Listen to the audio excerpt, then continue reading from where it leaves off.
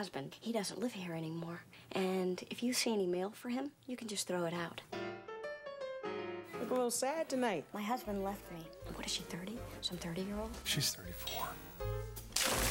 My husband cheated on me left and right. One day he tells me it's my fault he saw other women. So I picked up a knife and told him it was his fault I was stabbing him. I wish I would have stabbed my husband.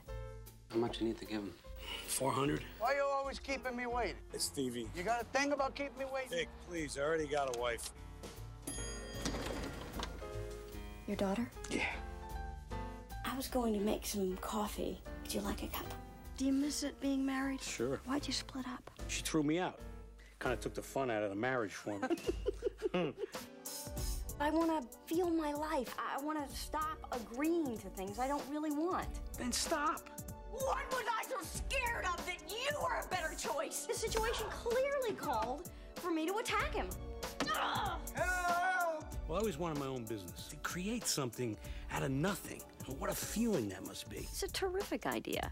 We gotta get out. And for one night, forget all the ex-husbands and gay boyfriends. We're going. Okay. This girlfriend of mine gave me these. What do they do? Makes you wanna just touch everybody. You look very nice in your uniform. Thank you. Thank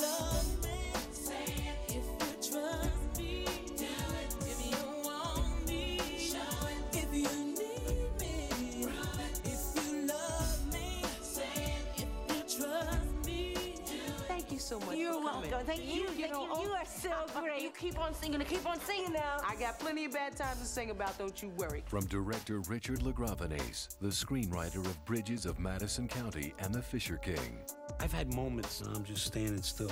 And then all of a sudden it starts to change. Here's to finding more of them. Living Out Loud. So how long has it been since you've had a massage? I don't remember. Are there any um, specific areas you'd like me to concentrate on? Can I decide later? Produced by Danny DeVito, Michael Shamberg, and Stacey Sher.